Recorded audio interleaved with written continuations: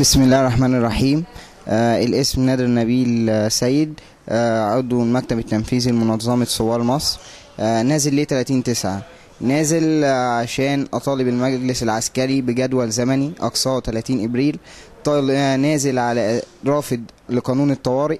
نازل عشان مش حاسس بأمن وأمان في البلد. حاسس أنا آه، نازل عشان حاسس إن في حالة آه تردي للأمن مست...